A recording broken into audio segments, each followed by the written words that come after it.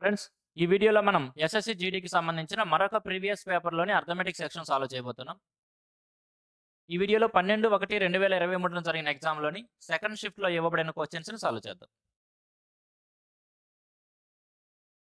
First question thirty men cut fifty trees in ten hours if ten men leave the job how many trees will be cut in fifteen hours ten men cut fifty trees in ten hours అంటున్నాడు. అంటే ముప్పై మంది మనుషులు పది గంటల సేపు పని చేసినట్లయితే యాభై చెట్లను నరగలరంట.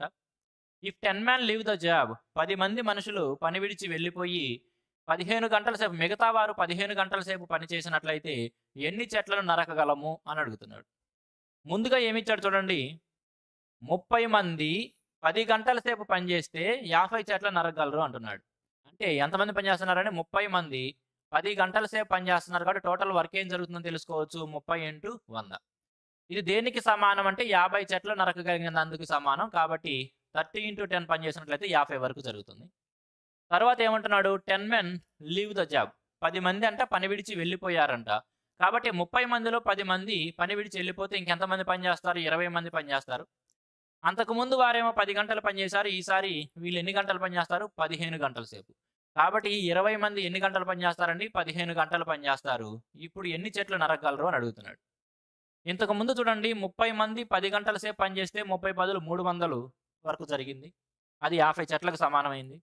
ఇక్కడ ఇరవై మంది పనిచేస్తారు పదిహేను గంటల సేపు పనిచేస్తారు ఇక్కడ చూసినా సరే ఇరవై ఇంటూ పదిహేను మూడు వందలే. అంటే అంతకుముందు ఎంతైతే వరకు జరిగిందో ఈసారి కూడా అదే వరకు జరుగుతుంది. కాబట్టి అంతకుముందు యాభై చెట్లు నరకగలిగితే ఈసారి కూడా యాభై చెట్లే నరకగలరు. గమనించండి ఇంతకుముందు ముప్పై పనిచేసే వాళ్ళు ఈసారి ఇరవై మందే పనిచేశారు మనుషులు తగ్గారు. కానీ వాళ్ళు పనిచేసే టైం పెరిగింది. అంతకుముందు పది గంటలు పనిచేస్తే ఈసారి పదిహేను గంటలు పని చేయించాడు అంటే మనుషులను తగ్గించి మిగిలిన వారి చేత ఎక్కువ గంటలు పని చేపించి బ్యాలెన్స్ చేసుకున్నాడు. కాబట్టి అంతకుముందు యాభై చెట్లు అయితే ఈసారి యాభై చెట్లు. That is option D. Option D is the correct answer. Next question. A sum of rupees P was borrowed and paid back in two equal yearly installments each of 35,280. P అనే అప్పుని తీసుకొని దాన్ని రెండు సంవత్సరాలలో రెండు సమాన వాయిదాలలో అంటే ఇన్స్టాల్మెంట్స్లో చెల్లించాడు. ఒక్కొక్క ఇన్స్టాల్మెంట్ వాల్యూ ముప్పై ఐదు వేల రెండు వందల ఎనభై. If the rate of interest was five percent per annum and interest is compounding annually then the value of P is చూడండి పి అనే రూపాయలు అప్పు తీసుకున్నాడు. సంవత్సరానికి ఐదు శాతం చొప్పున చక్రవడ్డీ చెల్లించాలి అనే ఉద్దేశంతో అప్పు తీసుకున్నాడు. మరి ఒకేసారి కాకుండా ఆ అప్పుని రెండు సంవత్సరాల్లో రెండు ఈక్వల్ ఇన్స్టాల్మెంట్స్లో రెండు సమాన వాయిదాల్లో చెల్లించాడు. ఒక్కొక్క సంవత్సరం ముప్పై ఐదు వేల రెండు వందల ఎనభై చొప్పున రెండు సమాన వాయిదాల్లో అప్పు- చెల్లించి అప్పు తీర్చేశాడు. అయితే మనకేం చెబుతున్నాడు ఆ తీసుకున్న అప్పు ఏదైతే ఉందో పి అది ఎంత చెప్పండి అని అడుగుతున్నాడు. సరే చూడండి మనం ఈ కాంపౌండ్ ఇంట్రెస్ట్కి సంబంధించి ఇన్స్టాల్మెంట్స్ కాన్సెప్ట్ అనేది మన క్లాస్ రూమ్లో చెప్పుకుంటాము అక్కడ నేర్చుకుంటాము. ఇక్కడ అదంతా చెప్పడం సాధ్యం కాదు చాలా మంచి కాన్సెప్ట్ అది. ఇక్కడే చెప్పడం సాధ్యం కాదు. అక్కడ మనం నేర్చుకుంటాం కదా ఎలా రాయాలి అనేది. ఇక్కడ తీసుకున్న అప్పు ఎంత అండి? పి తీసుకున్న అప్పు పి రూపీస్ కాబట్టి ఆ పి తీసుకుంటాము. తరువాత ఆ పి పైన మనం ఎంత శాతం వడ్డీ చెల్లించాలి? ఫైవ్ పర్సెంట్ ఇంట్రెస్ట్ చెల్లించాలి. మరి ఫైవ్ పర్సెంట్ యొక్క ఫ్రాక్షన్ వాల్యూ ఏందండి? ఫైవ్ పర్సెంట్ యొక్క fraction value one by twenty ఇక్కడ ఫైవ్ పర్సెంట్ వడ్డీ చెల్లించడము అంటే అర్థం ఏంది? ఒకవేళ ఇరవై రూపాయల అప్పు మనదైనట్లయితే దానిపైన ఒక రూపాయి వడ్డీ చెల్లిస్తాను అని అర్థం. అంటే ఇరవై రూపాయల అప్పు తీసుకొని మనం దానికి ఒకటి కూడి ఇరవై ఒక్క రూపాయి చెల్లించాలి. అంటే ఇరవై అప్పు కాస్త ఇరవై ఒకటిగా మారుతుంది అని అర్థం. కాబట్టి ఫైవ్ పర్సెంట్ ఏదైతే ఉందో దానికి ఇంట్రెస్ట్ చెల్లించాలి అని దానికి ఫ్రాక్షన్ వాల్యూ అర్థం ఏమిటి? ఇరవై ఒకటి బై ఇరవై అని. అంటే ఈ అప్పు అనేది మొదటి సంవత్సరం ఎలా మారుతుందండి? ఇరవై ఒకటి బై ఇరవైగా మారుతుంది. తరువాత ఏమవుతుంది? ఇన్స్టాల్మెంట్ రాస్తున్నాం కాబట్టి మనం. మరియు చక్రవడ్డీ అంటే వడ్డీ పైన వడ్డీ. అంటే మొదటి సైకిల్ ఏదైతే ఉందో వడ్డీ దానిపైన మరలా వడ్డీ పడుతుంది కదా సెకండ్ సైకిల్కి. కాబట్టి ఏం చేస్తాము? ఈ పెద్ద నెంబర్ ఏదైతే ఉందో ట్వంటీ వన్ అదంతే క్యారీ చేస్తాము. ఈ ఇరవై ఒకటి ఇరవై రెండు కూడుకొని ఫార్టీ వన్గా రాస్తాం. ఈ విధంగా ఎందుకు రాస్తాము అనేది క్లాస్లో చెప్పుకోవాలి మనం. కాంపౌండ్ ఇంట్రెస్ట్ క్లాసెస్లో ఇక్కడ కాదు. కాబట్టి ఈ విధంగా రాస్తాం కదా. పి అనేది అప్పు దాన్ని ఫైవ్ పర్సెంట్ ఇంట్రెస్ట్ కాబట్టి ట్వంటీ వన్ బై ట్వంటీ తర్వాత సంవత్సరానికి ట్వంటీ వన్ ఆ పెద్ద నెంబర్ అదే విధంగా క్యారీ చేస్తాము. తర్వాత ఇరవై ఒకటి ఇరవై రెండు కూడి నలభై ఒకటి ఇక్కడ వేస్తాం ఇవంతా దేనికి సమానం అవుతాయి దేనికి సమానం అవుతుంది? ఒక్కొక్క సంవత్సరం మనం చెల్లించాల్సిన ఏదైతే ఇన్స్టాల్మెంట్ ఉందో దానికి. దాని వాల్యూ ఇచ్చాడు కదా ముప్పై ఐదు వేల రెండు వందల ఎనభై అని. కాబట్టి దాని వాల్యూ అంతా ముప్పై ఐదు వేల రెండు వందల ఎనభై అని ఇచ్చాడు. ఈ సింగిల్ స్టెప్ రాయగలిగితే కనుక జస్ట్ ఒక క్యాల్కులేషన్తో మనకి ఆన్సర్ వచ్చేస్తుంది కదా. ఏడుతో కొట్టేద్దాం. ఏడు మూళ్ళు ఏడు ఐదులు ముప్పై ఐదు ఏడు నాలుగు ఇరవై ఎనిమిది. తర్వాత మరలా ఏడుతో కొట్టేసి ఏడు మూళ్ళు ఏడేళ్ళు నలభై తొమ్మిది ఏడు పద్నాలుగు సున్నా. మూడు మూడు తొమ్మిది కాబట్టి తొమ్మిది వందల డెబ్బై రెండు కాబట్టి ఎనభై. కాబట్టి ఇప్పుడు మన పి ఏమవుతుంది? పి ఈజ్ ఈక్వల్ టు నలభై ఒకటి ఇంటూ నూట అరవై అనమాట పదహారు నాలుగు అరవై నాలుగు ఆరు వందల నలభై ఒక పదహారు ఆరు వందల యాభై ఆరు పక్కన సున్నా అరవై ఐదు వేల ఆరు వందల రూపాయలు. ఎక్కడ ఇచ్చాడు ఆప్షన్ డి. అరవై ఐదు వేల ఆరు వందలు దట్ ఈజ్ ఆప్షన్ డి. ఈ విధంగా సింగిల్ స్టాప్లో చేసుకోవచ్చు. లేదు మేము రేషియో మెథడ్లో చేయాలనుకుంటే రేషియో మెథడ్లో కూడా చేయొచ్చండి రేషియో మెథడ్లో అయినా సరే మనం చేయొచ్చు. ఫైవ్ పర్సెంట్ అంటే అర్థమైంది. ఫైవ్ పర్సెంట్ యొక్క ఫ్రాక్షన్ వాల్యూ కావాలి. మనకి రేషియో మెథడ్ ద్వారా చేయాలన్నా సరే ఫైవ్ పర్సెంట్ యొక్క ఫ్రాక్షన్ వాల్యూ మనకు కావాలి. ఫైవ్ పర్సెంట్ యొక్క ఫ్రాక్షన్ వాల్యూ చెప్పుకున్నాం కదా వన్ బై ట్వంటీ. అంటే ప్రతి సంవత్సరం కూడా ఇరవై అనేది ఇరవై ఒకటిగా మారుతుంది అప్పు అని. కాబట్టి రెండు సమాన ఈక్వల్ ఇన్స్టాల్మెంట్స్ మొదటిసారి కూడా ఇరవై అనేది ఇరవై ఒకటిగా మారుతుంది. తరువాత రెండో సైకిల్కి ఏమవుతుంది? రెండో సైకిల్ అంటే కాంపోనెంట్స్ ఏం చేస్తాం? స్క్వేర్స్ రాసుకుంటాం కదా. కాబట్టి ట్వంటీ స్క్వేర్ ఇటేపేమో ట్వంటీ స్క్వేర్ రాయాలి ఇటేపేమో ట్వంటీ వన్ స్క్వేర్ రాయాలి కదా. కాబట్టి ఒకేసారి వాటి డైరెక్ట్ వాల్యూస్ రాస్తున్నాను. ట్వంటీ స్క్వేర్ అంటే నాలుగు వందలు. ట్వంటీ వన్ స్క్వేర్ అంటే నాలుగు వందల నలభై ఒకటి. సరే. కానీ లెక్కలో ఏమి ఇచ్చాడండి మనకి? లెక్కలో ఏమి ఇచ్చాడు? రెండు కూడా ఈక్వల్ ఇయర్లీ ఇన్స్టాల్మెంట్స్. రెండు కూడా సమాన ఈక్వల్ ఇయర్లీ ఇన్స్టాల్మెంట్స్. సమానమైన వాయిదాల్లో మనం చెల్లించాలి. మరి ఇక్కడ మొదటి వాయిదానేమో ఇరవై ఇరవై ఒకటిగా మారింది. రెండోది నాలుగు వందల నాలుగు వందల నలభై ఒకటిగా మారింది. ఇవి రెండు సమానం చేయాలి కదా. మనం చెల్లించాల్సిన ఇన్స్టాల్మెంట్ ఏదైతే ఉందో అవి రెండు సమానం చేయాలి కాబట్టి ఈ ఇరవై ఒకటిని కూడా మనం నాలుగు వందల నలభై ఒకటిగా మార్చాలి. అంటే ఏం చేయాలి? దీన్ని ఇరవై ఒకటితో మల్టిపుల్ చేయాలి. అదేవిధంగా రేషియోలో ఒక టెర్మన్ ఇరవై ఒకటితో మల్టిపుల్ చేస్తే మరొక టెర్మన్ కూడా మనం ఇరవై ఒకటితో మల్టిపుల్ చేసి తీరాలి. ఇప్పుడు చూసుకుంటే ఏమవుతుంది? ఇరవై ఒక ఇరవైలు. ఎంత అంటే నాలుగు వందల ఇరవై. ఓకే? నలభై రెండు పక్కన నాలుగు వందల ఇరవై. ఇది ఒక నాలుగు వందలు. కాబట్టి ఎనిమిది వందల ఇరవై రూపాయలు అప్పు. ఒక్కొక్క ఇన్స్టాల్మెంట్ ఎంత మారింది? ఒక్కొక్క ఇన్స్టాల్మెంట్ ఎంత? నాలుగు వందల నలభై ఒకటి. ఇది మొత్తం సమ్ చేయాల్సిన అవసరం లేదు. ఈచ్ ఇన్స్టాల్మెంట్ చాలు మనకి. ఈచ్ ఇన్స్టాల్మెంట్ ఎంత? నాలుగు వందల నలభై ఒకటి. అంటే మనం చెల్లిస్తున్న ఈచ్ ఇన్స్టాల్మెంట్ నాలుగు వందల నలభై ఒక్క వాల్యూ లెక్కలో ఎంత ఇచ్చాడు? నాలుగు వందల నలభై ఒక్క వాల్యూ. నాలుగు వందల నలభై ఒక్క వాల్యూ లెక్కలో ఎంత ఇచ్చాడు? ముప్పై ఐదు వేల రెండు వందల ఎనభై. ముప్పై ఐదు వేల రెండు వందల ఎనభై అని ఇచ్చాడు. మనం ఏం చెప్పాలి? తీసుకున్న అప్పు ఏదైతే ఉందో ఎనిమిది వందల ఇరవై దాని వాల్యూ చెప్పాలి. ఎనిమిది వందల ఇరవై యూనిట్ల వాల్యూ చెప్పాలి. కాబట్టి ఏం చేస్తాం ఇప్పుడు? క్యాన్సిల్ చేస్తాం కదా? నాలుగు వందల నలభై ఒకటి. డైరెక్ట్గా మనం నాలుగు ఎందులు ముప్పై రెండు ఎనభై ఆరు సార్లు కొట్టేసుకోవచ్చు. లేదనుకుంటే మీరు అంత పెద్ద నెంబర్ కొట్టేయలేమనుకుంటే జస్ట్ నాలుగు ఐదు తొమ్మిది కాబట్టి తొమ్మిదితో అయినా కొట్టేయండి. తొమ్మిది తొమ్మిది ఐదులు నలభై ఐదు తొమ్మిది నాలుగులో ముప్పై ఆరు తొంభై తొమ్మిది తొమ్మిదిలు ఎనభై ఒకటి. తొమ్మిది నాలుగు సార్లు ఎల్ఎం తొమ్మిది మూడు ఇరవై ఏడు ఎనభై రెండు తొమ్మిది తొమ్మిది ఎనభై ఒకటి పద్దెనిమిది గట్టు తొమ్మిది రెండు సున్నా తొమ్మిది వందల మూడు వందల తొంభై రెండు. నలభై తొమ్మిది ఎనిమిది సార్లు పోయింది కాబట్టి డైరెక్ట్గా ఎనభై సార్లు. కాబట్టి మన ఆన్సర్ ఏమైంది? ఎనభై ఎనిమిది వందల ఇరవై ఇంటూ ఎనభై. ఎనిమిది వందల ఇరవై ఇంటూ ఎనభై అనమాట మనకు కావాల్సిన ఆన్సర్. అంటే ఎనిమిది రెళ్ళు పదహారు ఎనిమిది వందల అరవై నాలుగు ఒకటి అరవై ఐదు పక్కన రెండు సున్నాలు? అరవై ఐదు వేల ఆరు వందలు. ఇదంతా చేయాల్సిన అవసరం లేదండి. అందుకే నేను రేషియో మెథడ్ అనేది మీతో ఫస్ట్ డిస్కస్ చేయలేదు. ఇది చాలా సింపుల్గా ఉంటుంది. కొంతమంది స్టూడెంట్స్ ఏమవుతారంటే రేషియో మెథడ్ చాలా ఈజీ అనుకుని దీనికి అలవాటు పడుతూ ఉంటారు. కొన్ని సందర్భాల్లో అది ఈజీగా ఉంటుంది. కానీ ఇది బాగా నేర్చుకోండి. డైరెక్ట్ సింగిల్ స్టెప్లో మనం ఆన్సర్ తీసుకోవచ్చు. అనవసరం ఈ రేషియో మెథడ్ అంతా చేయడం కూడా. జస్ట్ కొంతమంది దానికి అలవాటు పడి ఉంటారని చెప్పి అది కూడా చూపించాను. మీరు అర్థం చేసుకోండి. ఆ స్టెప్తో మనకి ఆ మెథడ్లో మనకి ఎంత ఈజీగా ఆన్సర్ వస్తుంది? దీంట్లో ఎంత క్యాలిక్యులేషన్ చేయాల్సి వస్తుంది అనేది. Next one. If the difference between the compound interest compounding annually and simple interest అనే certain sum at ten percent per annum for two years is four sixty four then find the sum invested మంచి question చూడండి. If the difference between the compound interest and compound annually and simple interest అనే sum at ten percent per annum for two years కొంత డబ్బు పైన రెండు సంవత్సరాలలో సంవత్సరానికి పది శాతం చొప్పున చక్రవడ్డీ లెక్కించే విధానికి మరియు సింపుల్ ఇంట్రెస్ట్ అంటే సాధారణ వడ్డీ లెక్కించే విధానానికి మధ్య భేదం నాలుగు వందల అరవై నాలుగు రూపాయలు అయితే ఆ ఇన్వెస్ట్ చేసిన సమ్ ఇన్వెస్ట్ చేసిన మొత్తము లేదా తీసుకున్న అప్పు ఎంత అని అడుగుతున్నాడు.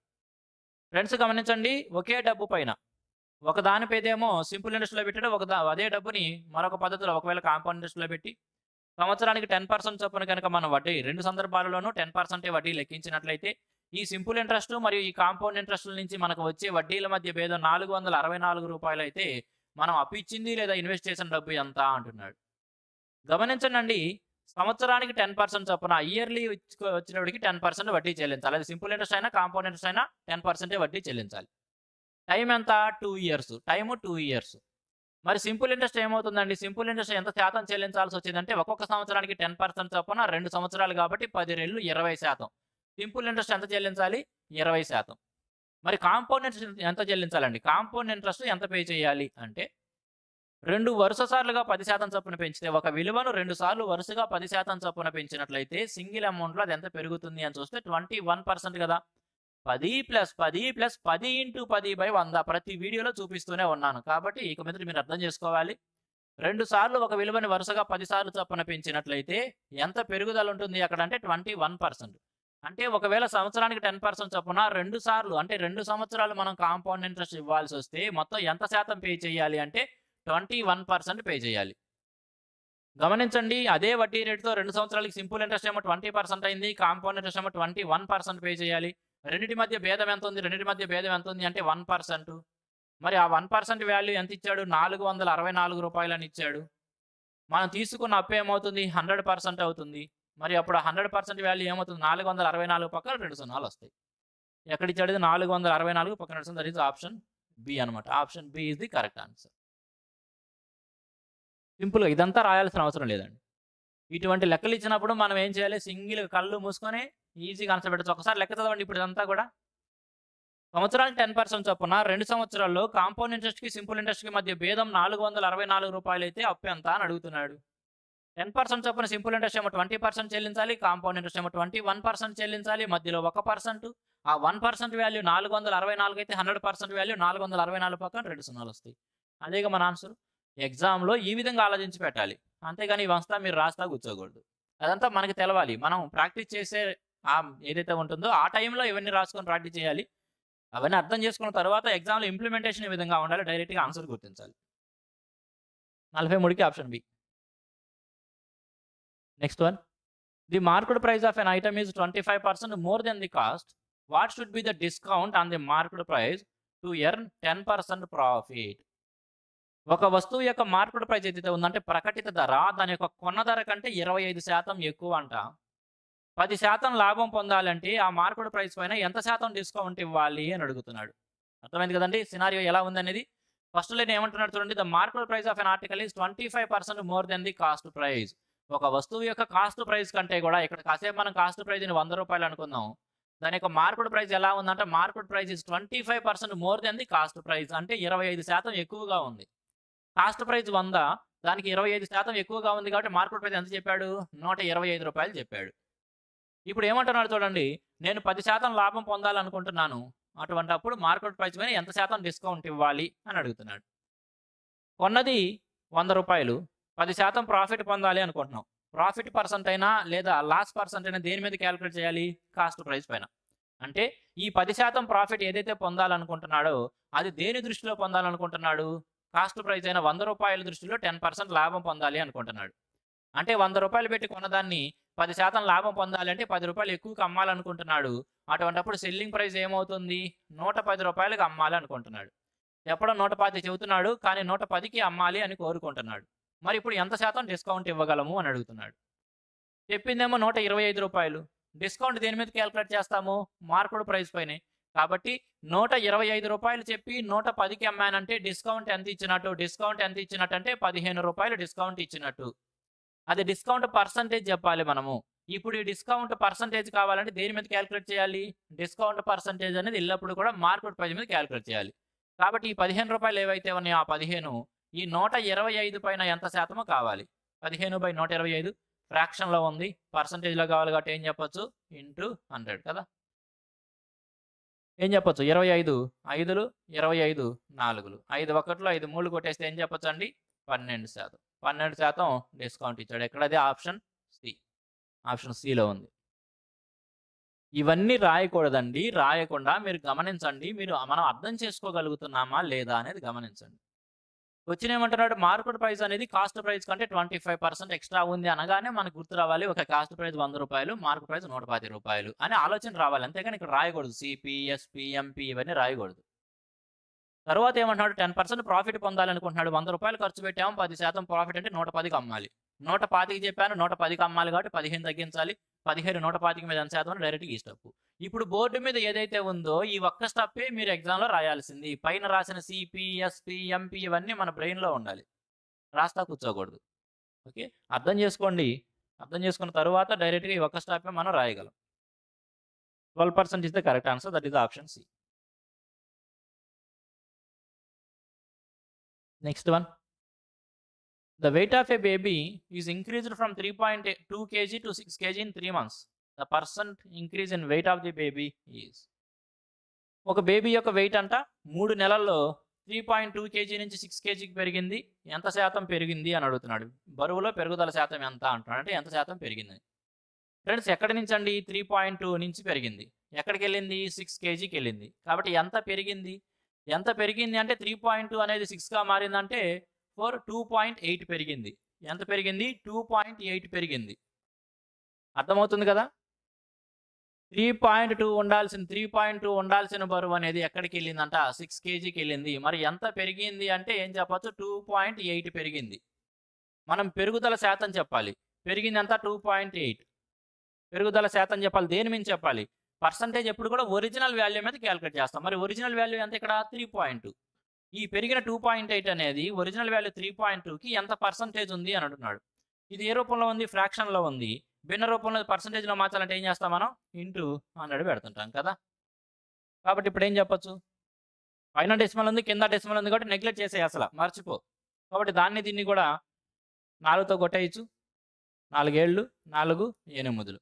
Seven by eight seven by eight అనే ఫ్రాక్షన్ చూడగానే మనం చెప్పేయచ్చు. ఏం చెప్పచ్చు అండి ఎనభై ఏడున్నర ఎనభై ఏడు పాయింట్ ఐదు శాతం. పర్సంటేజ్లు ఏమాత్రం మనం నేర్చుకోనున్నా సెవెన్ బై ఎయిట్ అనగానే eighty seven point five percent అని చెప్పేయచ్చు.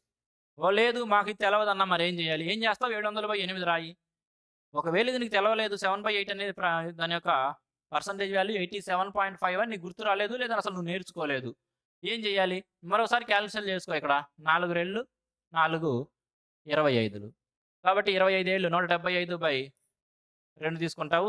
ఆ విధంగా ఇంకో స్టాప్ ఎక్స్ట్రా చేసుకోవాల్సి వచ్చేటప్పుడు రెండు వందల పదహారు పదిహేను కాబట్టి ఏడు రాస్తావు eighty seven point five percent అని రాస్తావు.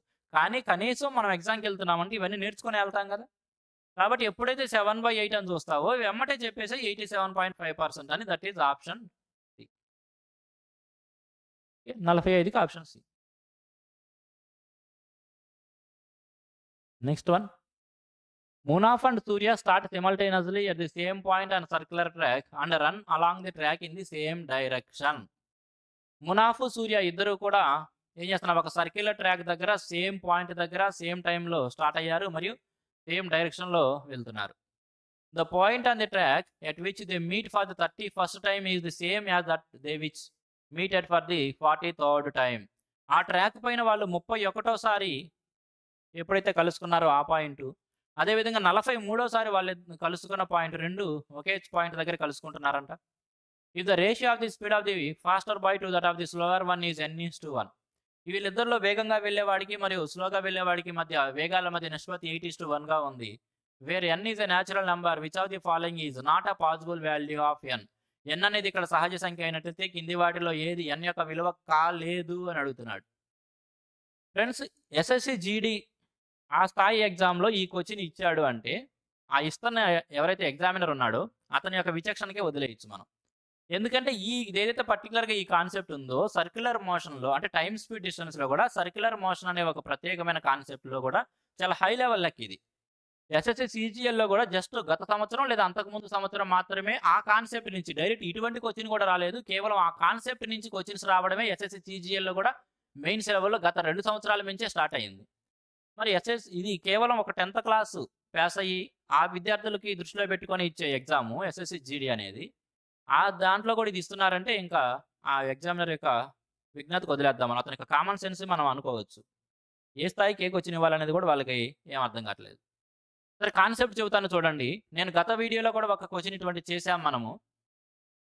ఒక సర్క్యులర్ ట్రాక్ ఉందండి. ఒక సర్క్యులర్ ట్రాక్ ఉంది.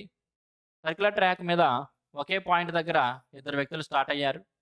ఇద్దరు కూడా సేమ్ డైరెక్షన్లో వెళ్ళొచ్చు లేదా ఆపోజిట్ డైరెక్షన్లో వెళ్ళొచ్చు ఇక్కడైతేనేమో సేమ్ డైరెక్షన్ అన్నాడు ఇక్కడేమో సేమ్ డైరెక్షన్లో వెళ్తున్నారు సరే వాళ్ళిద్దరు కూడా సేమ్ డైరెక్షన్లో వెళ్తున్నారు ఇద్దరు వ్యక్తులు వెళ్తున్నారు కాబట్టి అక్కడ వేగం ఎక్కువగా ఉంటుంది అక్కడ వేగం తక్కువగా ఉంది ఖచ్చితంగా.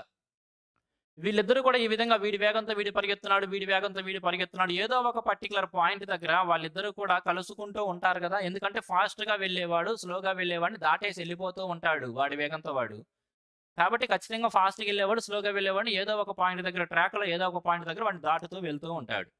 ఆ విధంగా ఈ వేగంగా వెళ్ళేవాడు, స్లోగా వెళ్ళేవాడిని దాటుతూ వాళ్ళిద్దరు మీట్ అయ్యే పాయింట్స్ ఉన్నాయి కదా వాళ్ళిద్దరూ వారి యొక్క పరుగును కంటిన్యూ చేస్తూ, చేస్తూ, చేస్తూ ఉన్నారు. అలా మీట్ అవుతూ, అవుతూ, అవుతూ 31సారి వాళ్ళిద్దరూ మీట్ అయిన పాయింట్ ఏదైతే ఉందో సంథింగ్ ఏదో ఈ పాయింట్ అంటున్నా నేను. సంథింగ్ ఏదో ఆ పాయింట్. వాళ్ళిద్దరు ముప్పై ఒకటోసారి ముప్పై ఒకటోసారి ఈ పాయింట్ దగ్గర మీట్ అయ్యారు అనుకుందాం. అదే విధంగా వాళ్ళిద్దరూ 43సారి కూడా ఇదే పాయింట్ దగ్గర మీట్ అయ్యారు. వాళ్ళిద్దరు యొక్క మీటింగ్ పాయింట్ 43సారి కూడా ఇక్కడే జరిగిందంట. అర్థమవుతుందా? వాళ్ళిద్దరూ కూడా వేగంగా వెళ్ళేవాడు తిరిగేస్తున్నాడు, స్లోగా వెళ్ళాడు తిరిగేస్తున్నాడు. ఆ విధంగా వేగంగా వెళ్ళేవాడు, స్లోగా వెళ్ళేవాడిని దాటేస్తూ ఉంటాడు. అంటే వాటిని మీట్ అవుతూ ఉంటారు.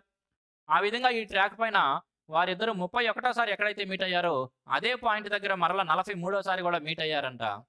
వీళ్ళిద్దరిలో వేగంగా వెళ్తున్న వాడికి మరియు స్లోగా వెళ్తున్న వాడికి వేగాల మధ్య నిష్పత్తి n:1గా ఉంది. అటువంటప్పుడు ఈ కింది వాటిలో n అనే దాని యొక్క విలువ ఏది కాలేదు అన్నాడు.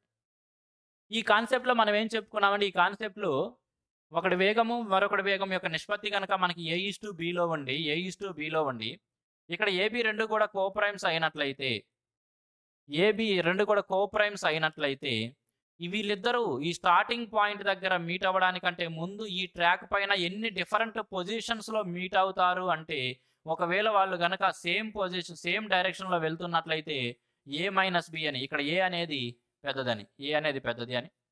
ఒకవేళ వాళ్ళు ఆపోజిట్ డైరెక్షన్‌లో గాని వెళ్తూ ఉన్నట్లయితే ఆ రెండు ఏవైతే వేగాలు ఉన్నాయో వాటికి కోప్రైమ్స్‌లోకి మార్చిన తర్వాత ఆ రేషియోలో రెండు టర్మ్స్ ఏవైతే ఉన్నాయో వాటి యొక్క మొత్తము ఏ ప్లస్ ఇన్ని సార్లు వాళ్ళు మీట్ అవుతారు అని చెప్పుకున్నాం కదా గత వీడియోలో కూడా ఇటువంటి వచ్చిన ఒకటి వస్తే ఈ కాన్సెప్ట్ బేస్ చెప్పాను అక్కడ కూడా నేను మీకు. కాబట్టి ఇప్పుడు చూడండి వాళ్ళు 31సారి మీట్ అయిన దానికి, 43సారి మీట్ అయిన దానికి మధ్యలో మరలా మీట్ అయ్యారో లేదో మనకి తెలవదు. మొత్తానికి 31సారి మీట్ అయింది, 43సారి మీట్ అయిన పాయింట్ ఒకటి. అదే పాయింట్ దగ్గర ఈ 31సారికి, 43సారికి మధ్యలో ఎన్నిసార్లు మీట్ అయ్యారా? లేదా మీట్ కాకుండా డైరెక్ట్‌గా 31 తర్వాత మరలా 43 దగ్గరే మీట్ అయ్యారా? అనేది మనకి డైరెక్ట్‌గా ఇన్ఫర్మేషన్ అయితే లేదు. కాబట్టి ఇక్కడ పాసిబుల్ వాల్యూస్ అడిగాడు ఎగ్జాక్ట్ వాల్యూ కాకుండా. సరే. ఇప్పుడేం చెప్పుకున్నాము ఒకవేళ వాళ్ళు సేమ్ డైరెక్షన్‌లో వెళ్తున్నట్లయితే వాళ్ళ యొక్క నంబర్ ఆఫ్ మీటింగ్ పాయింట్స్ ఎన్ని ఉంటాయండి? Number of meeting points a minus b ఉంటాయి. ఇక్కడ ఏమి ఇచ్చాడు? n:1 వాళ్ళ యొక్క వేగాల నిష్పత్తి n:1 ఇచ్చాడు. ఇక్కడ ఎప్పుడైతే వన్ అనేది ఇచ్చుకొని మనం చూసామో వెంటనే ఖచ్చితంగా ఎన్ అండ్ వన్ అనేవి కోప్రేమ్స్ అని చెప్పొచ్చు కదా! ఎందుకంటే ఒకటి అనే దానికి ఒకటి తప్పితే మరి ఏ ఇతర ఉమ్మడి కారణాంకం ఉండదు కాబట్టి కామన్ ఫ్యాక్టర్ ఉండదు కాబట్టి ఎన్ అండ్ వన్ రెండు కూడా ఏం చెప్పొచ్చు? కోప్రైమ్స్ అని చెప్పొచ్చు. కాబట్టి ఇప్పుడు వీళ్ళిద్దరూ సేమ్ డైరెక్షన్‌లో వెళ్తుంటే వాళ్ళిద్దరు యొక్క నంబర్ ఆఫ్ మీటింగ్ పాయింట్స్ ఎన్ని ఉంటాయండి? n-1 ఉంటాయి. సేమ్ డైరెక్షన్‌లో వెళ్తున్నారు కాబట్టి ఏం చెప్పొచ్చు? Number of meeting points n minus one ఉంటాయి. ఎన్ మైనస్ వన్ మరి ఎన్ని మీటింగ్ పాయింట్స్ చూడండి ఈ 31 నుంచి 43 మధ్యలో ఎన్ని ఉన్నాయి మొత్తం పన్నెండు ఉన్నాయి ఈ 31 నుంచి 43కి 12. ఈ 12లో వాళ్ళు కలిశారా లేదా? మనకి తెలవదు. కాబట్టి ఎన్ మైనస్ వన్ ఏమో వాళ్ళు దీనికి సమానం? 12కి సమానం. ఇప్పుడు గమనించండి n యొక్క వాల్యూ ఏది సాధ్యం కాదు అన్నప్పుడు మనం నాలుగు ఆప్షన్లు ఇచ్చాడు కాబట్టి నాలుగిట్లో వాల్యూస్ తీసుకొని ఏది సాధ్యం కాదో చెప్పాలి. ఒకవేళ ఆప్షన్ ఏ తీసుకున్నాను అనుకోండి ఎన్ వాల్యూ సిక్స్గా తీసుకున్నాను. ఒకవేళ ఎన్ వాల్యూ సిక్స్ అంటే ఎన్ మైనస్ వన్ అంటే ఏమయ్యేది ఫైవ్ ఫైవ్ అనేది 12 యొక్క మల్టిపుల్ కాదు కాబట్టి ఇది ఛాన్స్ అవ్వదు. ఇది అయ్యే ఛాన్స్ లేదు. ఏది అవ్వదు అన్నాడు కాబట్టి ఆప్షన్ ఏనే మన ఆన్సర్ అవుతుంది. మిగతా ఆప్షన్స్ ఒకసారి మీరు చెక్ చేయండి. బి ఆప్షన్ ఫైవ్ ఇచ్చాడు. 5-1 5-1 ఏమవుతుందండి? 5-1 ఏమవుతుంది? ఫోర్ ఎన్ వాల్యూ మనం ఫైవ్గా తీసుకుంటే 5-1 4 అవుతుంది. 4 ఈస్ ద మల్టిపుల్ ఆఫ్ 12 కాబట్టి అయ్యే ఛాన్స్ ఉంది. కాబట్టి అది మన ఆన్సర్ అయ్యే ఛాన్స్ ఉంది ఎన్ వాల్యూ అవుతానికి. ఏది అవ్వలేదో అది మన ఆన్సర్. ఇక్కడ త్రీ అన్నాడు.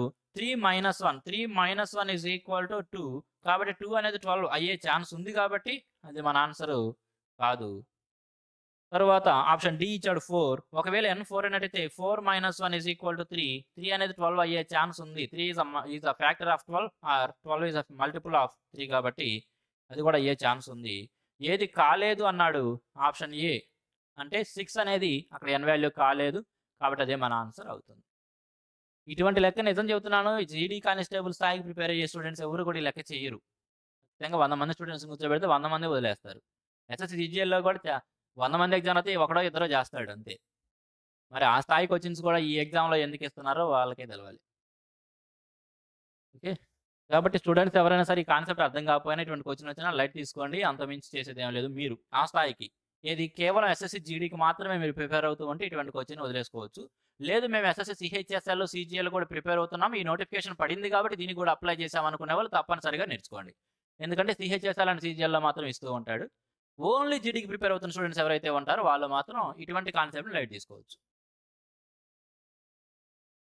Next one in a store an item with MRP of rupees twenty eight thousand five hundred is available at discount price of twenty seven six four five what is the percentage of discount given on that item ఒక దుకాణంలోనంట ఇరవై ఎనిమిది వేల ఐదు వందల రూపాయల marked price కలిగి అంటే ప్రకటిత ధర ఇరవై ఎనిమిది వేల ఐదు వందల రూపాయలు కలిగిన వస్తువు అనేది కొంత డిస్కౌంట్ లభించిన తరువాత ఇరవై ఏడు వేల ఆరు వందల నలభై ఐదు రూపాయలుగా అమ్మబడుతుందంట.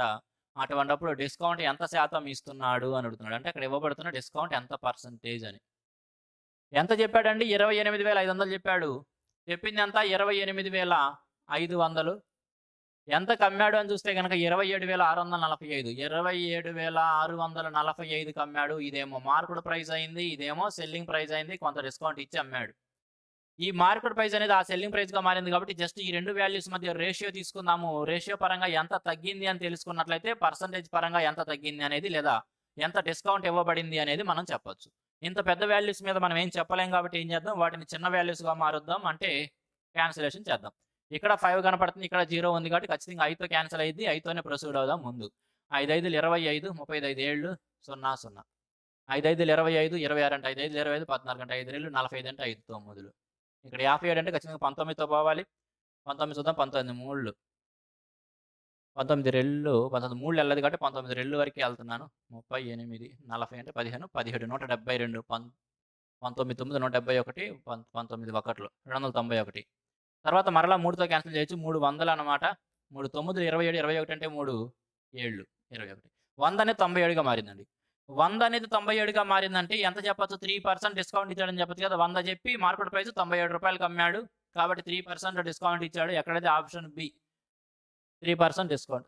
Just ఆ వాల్యూస్ని క్యాన్సిల్ చేసుకుని వంద మరియు తొంభై ఏడుగా మారుతుంది రేషియోగా మారిస్తే అర్థమైపోతుంది మనకి. వంద రూపాయలు చెప్పాడు మార్కెట్ ప్రైస్ తొంభై ఏడు రూపాయలు అమ్మాడు కాబట్టి త్రీ పర్సెంట్ డిస్కౌంట్ ఇచ్చాడు. Option B. Next one what is the HCF of four by five eight by twelve two by thirty five అని అడుగుతున్నాడు. అక్కడ మూడు బిల్లాలు ఇచ్చాడు మనకి. ఆ బిన్నాల యొక్క హెచ్సిఎఫ్ ఎంత అంటున్నాడు. దానికి ఇంకా తెలుగు ట్రాన్స్లేషన్ ఏం అక్కర్లేదు అందుకని ఇవ్వలేదు.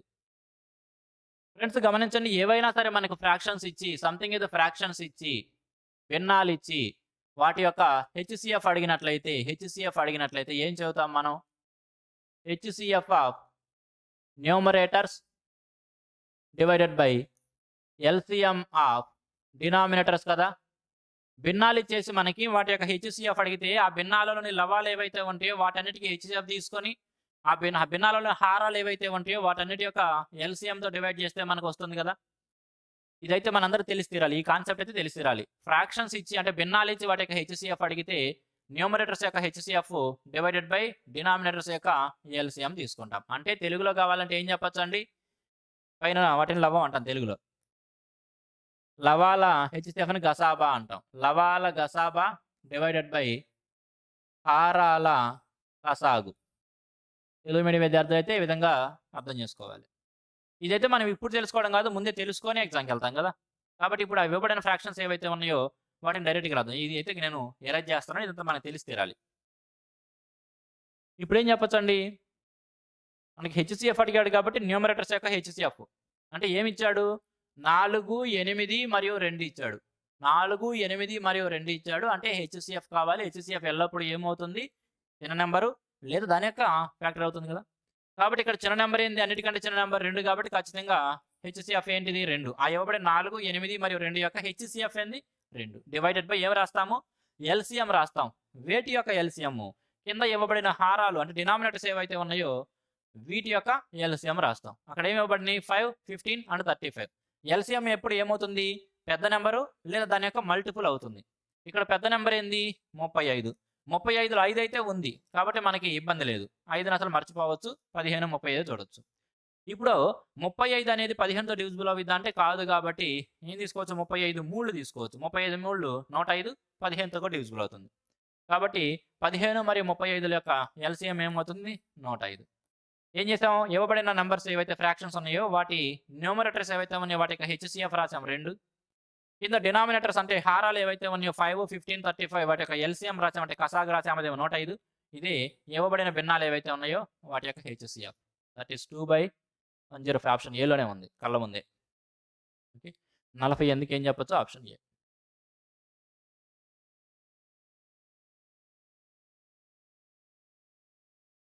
Suman buys 40 kg of wheat at rupees 12.50 per kg and 30 kg of wheat at rupees 14 per kg. At what rate per kg should sell the mixture to gain 5% on the whole? Suman అనే వ్యక్తి నలభై కేజీలు గోధుమనేమో ఒక్కొక్క KG పన్నెండున్నర చొప్పున కొన్నాడు మరొక ముప్పై కేజీల గోధుమనేమో ఒక్కొక్క కేజీ పద్నాలుగు రూపాయల చొప్పున కొన్నాడు ఈ రెం ఇవి రెండింటిని కలిపి వేసి ఆ ఏర్పడిన మిశ్రమం లేదా మిక్సర్ ఏదైతే ఉందో దానిని ఐదు శాతం లాభం పొందాలి అంటే ఒక్కొక్క కేజీ ఎంత అమ్మాలి అని అడుగుతున్నాడు. వచ్చిన అర్థమైంది కదండి? అతను రెండు రకాల గోధుమలు కొన్నాడు. మొదటి రకం నలభై కేజీలు కొన్నాడు దాని ధర ఏమో ఒక్కొక్కటి పన్నెండున్నర పర్ కేజీ. రెండో రకం ముప్పై కేజీలు కొన్నాడు దాని ధర ఏమో పద్నాలుగు రూపాయలు పర్ కేజీ. ఈ రెండింటినీ కలిపి వేస్తే ఏర్పడిన ఆ మిక్స్చర్ ఏదైతే ఉందో దానిని ఫైవ్ పర్సెంట్ గెయిన్ పొంది అంటే ఐదు శాతం లాభంతో అమ్మాలనేది అతని ఉద్దేశం. మరి అటువంటిప్పుడు ఐదు శాతం లాభం పొందాలంటే ఈ మిక్చర్ మొత్తాన్ని ఒక్కొక్క కేజీ ఎంతకి అమ్మాలి అని అడుగుతున్నాడు. ముందుగా అసలు వాడు ఏం ఖర్చు పెట్టాడో చూద్దాం. వాడు ఏం ఖర్చు పెట్టాడో దానిపైన ఫైవ్ పర్సెంట్ పొందాలనుకుంటున్నాడు కదా. ముందు వాడు ఏం ఖర్చు పెట్టాడో చూద్దాం. ఎలా ఇచ్చాడు చూడండి. మొదటిదేమో ఫార్టీ మొదటిదేమో ఫార్టీ కేజీ అంటున్నాడు. తర్వాత థర్టీ కేజీ అంటున్నాడు. నేను అంటున్నాను ఫార్టీ థర్టీ మనకు అక్కర్లేదు రెండింటిని కూడా కామన్గా జీరో జీరో క్యాన్సిల్ చేసి కేవలం మొదటిది నాలుగు కేజీలు రెండోది మూడు కేజీలే కొన్నాడని ఆ రేషియో మాత్రం తీసుకుందాం. ఎందుకంటే ఆడ ఇవ్వబడిన నలభై కేజీలు ముప్పై కేజీలు అయితే ఉన్నాయి వాటిపైనే మనం లెక్క చేయాల్సిన అవసరం లేదు. ఇక్కడ మొత్తం మీద మిక్స్చర్లో వాడు ఫైవ్ పర్సెంట్ గెయిన్ పొందుతున్నాడంటే మొత్తం మిక్స్చర్ అయినా ఐదు శాతం లాభానికి అమ్మాలి. దాంట్లో ఒక గింజనైనా సరే ఐదు శాతం లాభానికి అమ్మాలి. అర్థమవుతుందా? మొత్తం మిక్స్చర్ని నువ్వు యూనిఫామ్గా ఫైవ్ పర్సెంట్ లాభానికి లేదా నష్టానికి అమ్మావు అంటే దానిలోని ప్రతి అణువు పైన కూడా అదే శాతం లాభం లేదా నష్టం ఉందని. కాబట్టి ఇక్కడ నలభై కేజీలు ముప్పై కేజీలు కలిపితే డెబ్బై కేజీల పైన ఏదైతే లాభ శాతం ఉంటుందో నాలుగు మూడుగా తీసుకున్నప్పుడు ఏడు మీ కేజీల మీద కూడా అదే లాభ శాతం ఉంటుంది. ప్రతి గోధుమ గింజ పైన కూడా అదే శాతం లాభం ఉంటుంది. కాబట్టి మనం నలభై ముప్పై అనే నెంబర్స్ పైన అంత పెద్ద వాల్యూస్ కాకుండా సింపుల్గా నాలుగు మూడుగానే తీసుకుందాం. సింపుల్గా మొదటిదేమో నాలుగు కేజీలు కొన్నాడు అనుకుందాం. రెండో రకం మూడు కేజీలు. ఫోర్ ఇస్టు త్రీలో కొన్నాడు. మొదటి దాని ప్రైస్ అంతా పన్నెండున్నర. మొదటిది ఒక్కొక్క కేజీ ధర పన్నెండున్నర. రెండవ దాని ఒక్కొక్క కేజీ ధర పద్నాలుగు రూపాయలు. అంటే మొత్తం మీద వాడు ఎంత ఖర్చు పెట్టాడు చూసామనుకోండి. మొత్తం మీద ఎంత ఖర్చు పెట్టాడంటే పన్నెండు నాలుగు నలభై ఎనిమిది రెండు. యాభై రూపాయలు ఇక్కడ ఖర్చు పెట్టాడు. అదేవిధంగా ఇక్కడ పద్నాలుగు మూడు నలభై రెండు రూపాయలు ఖర్చు పెట్టాడు. మొత్తం మీద ఎంత ఖర్చు పెట్టాడండి? తొంభై రెండు రూపాయలు ఖర్చు పెట్టాడు. వాడు ఖర్చు పెట్టిన తొంభై రెండు రూపాయలు. వాడు ఏం పొందాలనుకుంటున్నాడు? ఫైవ్ పర్సెంట్ గెయిన్ పొందాలనుకుంటున్నాడు. దేనిపైన వాడు ఖర్చు పెట్టిన తొంభై రెండు రూపాయల పైన. ఫైవ్ పర్సెంట్ యొక్క ఫ్రాక్షన్ వాల్యూ ఏందండి? ఫైవ్ పర్సెంట్ యొక్క fraction value one by twenty five percent gain పొందడం అంటే ఏంది? ఇరవై రూపాయలకి ఒక రూపాయి లాభం పొందాలి కాబట్టి ఇరవై అనేది ఎలా మారాలనుకుంటున్నాడు? ఇరవై ఒకటిగా మారాలనుకుంటున్నాడు. కదా? కాబట్టి వాడు ఖర్చు పెట్టిన ఈ తొంభై రెండు రూపాయల పైన ఫైవ్ పర్సెంట్ గెయిన్ పొందాలి అంటే అర్థం ఏమిటి? ఈ తొంభై రెండు రూపాయలని ఏం చేయాలనుకున్నాడు ఇరవై ఉన్నది కాస్త ఇరవై ఒకటిగా మార్చాలనుకుంటున్నాడు. ఇది వాడు పొందాలనుకుంటుంది. ఎన్ని కేజీలు అమ్మడం ద్వారా ఇది పొందాలనుకుంటున్నాడు? ఏడు కేజీలు అమ్మడం ద్వారా. ఎందుకంటే ఇవి ఒక నాలుగు కేజీలు ఇవి మూడు కేజీలు. వాడు పొందాలనుకుంటుంది ఇది లాభంతో కలుపుకొని ఇంతకు అమ్మాలనుకుంటున్నాడు. ఎన్ని కేజీలు అంటే ఏడు కేజీలని. కాబట్టి ఒక్కొక్క కేజీ ఎంత కమ్మాలంటే దీన్ని ఏడు భాగాలు చేస్తే సరిపోతుంది కాబట్టి ఏడుతో డివైడ్ చేస్తాం. క్యాన్సిల్ చేయండి. ఏడు ఒకటిలో ఏడు మూడు తీసేసుకోవచ్చు. రెండు ఒకటిలో రెండు పదులు తీసి ఇక్కడ రెండు నలభై ఆరు నలభై రెండు నూట ఇరవై అరవై పద్దెనిమిది నూట ముప్పై ఎనిమిది బై పది. నూట ముప్పై ఎనిమిది బై పది అంటే పదమూడు పాయింట్ ఎనిమిది. ఒక కేజీ పదమూడు పాయింట్ ఎనిమిది commission that is option A okay నలభై తొమ్మిదికి ఆప్షన్ ఏ ఒక కేజీ పదమూడు పాయింట్ ఎనిమిది కమ్మినట్లయితే వాడు కోరుకున్నట్టు ఫైవ్ పర్సెంట్ లాభం వచ్చేది మొత్తం మీద. ఇక్కడ నేను ఏదైతే రాశాను ఈ ఫోర్ ఇస్టు త్రీ రాయడం ట్వెల్వ్ పాయింట్ ఫైవ్ ఫోర్టీన్ యాభై నలభై రెండు ఈక్వల్ తొంభై రెండు ఇదంతా కూడా మీరు ఎగ్జామ్లో రాయకూడదండి. ఇదంతా కూడా మీరు ఎగ్జామ్లో రాయకూడదు. ఇప్పుడు ఏదైతే నేను ఇక్కడ తీసానో. అదంతా ఉండకూడదు ఎగ్జామ్లో. సారీ వచ్చిన కూడా పోయిందా? ఓకే. ఇక్కడైతే రాసి నేను తీసానో అవంతా ఎగ్జామ్లో రాయకుండా మీరు ఎలా చూడాలి చూడండి. చదివినప్పుడు మనకైతే అర్థమవుతుంది కదా! సారీ. వచ్చిన కూడా పోయినట్టుంది. నెక్స్ట్ క్వశ్చన్కి వెళ్ళాం.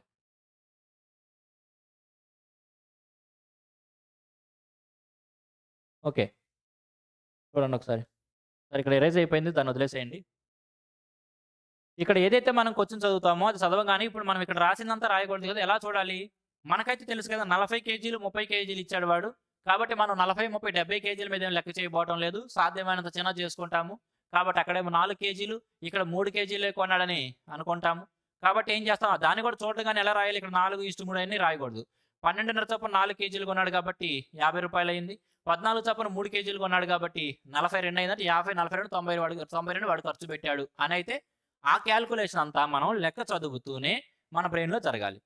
వన్స్ వాడు ఖర్చు పెట్టింది ఏదైతే ఉందో తొంభై రెండు రూపాయలు అని మనం లెక్క చదువుతూ అర్థం చేసుకొని ఆ క్యాల్కులేషన్ బ్రెయిన్లో చేసిన తరువాత ఇప్పుడు రాయాల్సింది పేపర్ మీద ఎగ్జామ్లో రాయాల్సింది ఏంది? ఖర్చు పెట్టింది తొంభై రెండు. ఇప్పుడు వేసే స్టప్ ఏదైతే ఉందో ఇది మాత్రం ఎగ్జామ్లో పడాలి. ఖర్చు పెట్టింది తొంభై రెండు. వారు కోరుకుంటుంది ఏంది? ఫైవ్ పర్సెంట్ లాభం పొందాలని. కాబట్టి దాని యొక్క ఫ్రాక్షన్ వాల్యూ ఎవరైతే ఇరవై ఒకటి బై ఇరవై. మొత్తాన్ని అయితే ఇంత కమ్మాలి. కానీ ఒక్కొక్క కేజీ ఎంత కమ్మాలన్నాడు కాబట్టి ఏడు కేజీలు ఉన్నాయి కాబట్టి డివైడెడ్ బై సెవెన్ వేస్తే ఒక కేజీ యొక్క ధర వస్తుంది. ఈ విధంగా ఈ ఒక్క స్టెప్పే మనకి ఎగ్జామ్లో పడాల్సింది. ఈ పైన నేను రాసిందంతా కూడా మీకు ఎక్స్ప్లెయిన్ చేస్తానికి రాస్తాను. కాబట్టి మీరు ఆ విధంగా అలవాటు పడద్దు. ఈ స్టెప్ డైరెక్ట్గా రాసేట్టు ప్రాక్టీస్ చేయండి. Next question In an election between two candidates, one who gets 64% of the votes polled is elected by a majority of 4340 votes. What is the total number of votes polled, considering that all the polled votes are valid? In an election between two candidates, ఇద్దరు వ్యక్తుల మధ్య ఒక election జరిగిందంట one who gets sixty four percent of the votes polled is elected by a majority of four three four zero votes ఇద్దరు వ్యక్తుల మధ్య ఎన్నిక జరిగింది. దానిలో అరవై నాలుగు శాతం ఓట్లు పొందిన వాడు ఎవరైతే ఉన్నాడో వాడు అవతల వాడి పైన నాలుగు వేల మూడు వందల నలభై ఓట్ల మెజారిటీతో గెలిచాడంట. అటువంటిప్పుడు what is the total number of votes polled? అక్కడ ఏమంటున్నాడు? మొత్తం ఎన్ని ఓట్లు పోలేని అని అడుగుతున్నాడు. ఎలక్షన్ టైప్ ఆఫ్ క్వశ్చన్స్లో వెరీ సింపుల్ మోడల్ క్వశ్చన్ అండి. మనకి ఎగ్జామ్స్లో ఎలక్షన్ సంబంధించిన ఎలక్షన్స్ ఓట్స్ సంబంధించిన క్వశ్చన్స్ కూడా ఇస్తూ ఉంటాడు పర్సంటేజ్ నుంచి.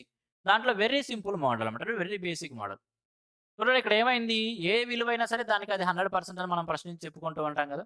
కాబట్టి ఇక్కడ టోటల్ ఓట్లు ఏవైతే ఉంటాయో అవన్నీ కూడా ఏందండి? Hundred percent. ఖచ్చితంగా టోటల్ ఏమై ఉండాలి? Hundred percent. ఇక్కడ ఒకవేళ ఇద్దరుంటే ఇద్దరు లేదా ముగ్గురుంటే ముగ్గురు నలుగురు అని ఎవరైనా ఉండనివ్వండి. వాళ్ళందరికీ కూడా పోలైన ఓట్లన్నిటి సమ- మొత్తం దేనికి సమానం అవ్వాలి వంద శాతం. ఎందుకంటే ఈ వంద శాతంలో నుంచి ఎంతమంది అయితే ఎలక్షన్లో ఉంటారో వాళ్ళందరూ పంచుకోవాలి కదా. కాబట్టి ఒకడికి సిక్స్టీ ఫోర్ పర్సెంట్ వచ్చినాయి అంటున్నాడు. ఒకడికేమో సిక్స్టీ ఫోర్ పర్సెంట్ వచ్చినాయి అంటున్నాడు. కాబట్టి అవతల వాడికి ఎన్ని వచ్చినాయి అనేది వాడు చెప్పకుండా మనమే తీసుకోవచ్చు కదా. ఏం చెప్పుకున్నాం మనం? ఎంతమంది అయితే క్యాండిడేట్స్ ఉంటారో వాళ్ళందరికీ వచ్చినాయి అన్నీ కలుపుకుంటే హండ్రెడ్ పర్సెంట్కి సమానం అవ్వాలి. ఇక్కడ కేవలం ఇద్దరే ఉన్నారు అంటున్నాడు.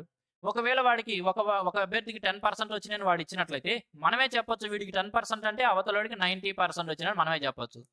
ఒకవేళ వీడికి ట్వంటీ ఫైవ్ పర్సెంట్ వచ్చినాయని ఇచ్చినట్లయితే అవతల వాడికి సెవెంటీ ఫైవ్ పర్సెంట్ వచ్చినాయని కూడా మనమే తెలుసుకోవచ్చు వాడు చెప్పాల్సిన అవసరం లేదు. కాబట్టి ఎప్పుడైతే గెలిచిన అభ్యర్థి లేదా ఒక అభ్యర్థికి సిక్స్టీ ఫోర్ పర్సెంట్ వచ్చినాయి అని ఇచ్చాడో అవతల ఇంకొక రెండో అభ్యర్థికి ఎన్ని వచ్చినాయో మనం తెలుసుకోవచ్చు డైరెక్ట్గా ఆవిడకి థర్టీ సిక్స్ పర్సెంట్ వచ్చినాయని చెప్పి మనమే తెలుసుకోవచ్చు వాడు ఇవ్వాల్సిన అవసరం అయితే లేదు. కదా? సరే. ఇప్పుడు వీడికి సిక్స్టీ ఫోర్ పర్సెంట్ వచ్చినాయి వాడికి థర్టీ సిక్స్ పర్సెంట్ వచ్చినాయి. మరి మెజారిటీ అంటే అర్థం ఏంటండి అసలు? మెజారిటీ అంటే అర్థం ఏమిటి అంటే గెలిచిన అభ్యర్థికి ఓడిపోయిన వాడి కంటే కూడా ఎన్ని ఎక్కువ ఓట్లు వచ్చినాయో దాన్ని మెజారిటీ అంటాం. ఒక అభ్యర్థికి మరొకటి మీద కంటే ఎన్ని ఎక్కువ వచ్చినాయి వాటిని కదా మన మెజారిటీ అనేది. కాబట్టి ఇక్కడ గెలిచిన వాడికి పర్సంటేజ్ పరంగా చూస్తే సిక్స్టీ ఫోర్ పర్సెంట్ ఉంది. ఓడిపోయినోడు లేదా అవతల అభ్యర్థికి పర్సంటేజ్ పరంగా థర్టీ సిక్స్ పర్సంటేజ్ ఉంది. పర్సంటేజ్ పరంగా వాళ్ళిద్దరి మధ్య డిఫరెన్స్ లేదా ఈ గెలిచిన వాడు అవతల వాడి కంటే ఎంత ఎక్కువ పొందాడు అంటే ఇరవై ఎనిమిది శాతం పొందాడు. ఇరవై ఎనిమిది శాతం పొందాడు.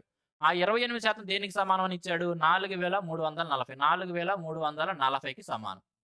మరి అప్పుడు మొత్తం అంటే హండ్రెడ్ పర్సెంట్ వాల్యూ ఎంత అని? మొత్తం అంటే హండ్రెడ్ పర్సెంట్ వాల్యూ ఎంత? సింపుల్గా చెప్పొచ్చు కదండి. వీడికి సిక్స్టీ ఫోర్ పర్సెంట్ వచ్చినాయి కాబట్టి అవతల వాడికి థర్టీ సిక్స్ పర్సెంట్ వచ్చినాయని మనమే అర్థం చేసుకోవాలి. అసలు మెజారిటీ అంటే ఏమిటంటే యువతల వచ్చిన వాడికి అవతల ఓడిపోయిన వాడికంటే కూడా ఎన్ని ఎక్కువ వచ్చినాయి అనేది మెజారిటీ. మరి ఎంత ఎక్కువ శాతం వచ్చిందంటే ట్వంటీ ఎయిట్ పర్సెంట్ వాల్యూ ఎంత అయితే మొత్తం ఓట్లు హండ్రెడ్ పర్సెంట్ వాల్యూ ఎంత అనేది కావాలి. దేంతో కొట్టచ్చు నాలుగుతో కొట్టచ్చు నాలుగు. ఏడు కొట్టేద్దాం. లేదు ఏడుతో ఒకేసారి కొట్టేద్దాం. ఏడు నాలుగు ఏడు ఆలు నలభై రెండు పద్నాలుగు ఏడు రెండు ఆరు వందల ఇరవై. నాలుగు కదా? నాలుగు పదిహేను అరవై ఇరవై ఎనిమిది కాబట్టి నాలుగు ఐదులు. నూట యాభై ఐదు పక్కన రెండు సున్నాలు పడేయండి. Option D. ఆప్షన్ డి అనమాట సింపుల్ క్వశ్చన్ అండి ఎలక్షన్ నుంచి. యాభై దానికి D. Next question. A cylindrical tank has a capacity of 5632 meter cube. If the diameter of the base is 8 meter, what is the depth of the cylinder tank? Cylindrical tank. ఒక cylinder ఉందంటే దాని యొక్క capacity అంటే volume ఇచ్చాడు దానికి ఘనపరిమాణం ఇచ్చాడు యాభై ఆరు ముప్పై రెండు మీటర్ క్యూబ్ అంట the diameter of the base is eight metre దాని యొక్క భూమి ఏదైతే ఉందో దాని యొక్క వ్యాసం ఎలా ఉందంట ఎయిట్ మీటర్స్గా ఉందంట అటువంటిప్పుడు దాని యొక్క డెప్త్ ఫ్రెండ్స్ ఇక్కడ డెప్త్ అని అడిగినా లోత్ అని అడిగినా లేకపోతే ఎత్తు అని అడిగినా అన్నీ ఒకటేనండి. సిలిండర్కి సంబంధించి. సిలిండర్ ఈ విధంగా ఉంటుంది కదా? సిలిండర్ ఈ విధంగా ఉంటుంది? ఈ ఇక్కడ ఈ పాయింట్ నుంచి ఈ పాయింట్ దాకా ఉండేదాన్ని మనం ఏమంటాం? హైట్ అంటాము. దాన్నే వాడు ఒకవేళ తొట్టిలాగో లేదా ఏదన్నా మన పాత్రలాగా అలా తవ్వితేనేమో దాన్ని లోత్ అంటుంటాడు పైనుంచి మనం చూస్తుంటే దాన్ని లోత్ అంటాం. కింద నుంచి పైకి చూస్తూ ఉంటే హైట్ అంటాం. అంతేగాని హైట్కి లేదా అక్కడ డెప్త్ అన్నాడు కదా అని కన్ఫ్యూజ్ అవ్వమాకండి ఏదైనా ఒకటే. Depth is nothing but the height.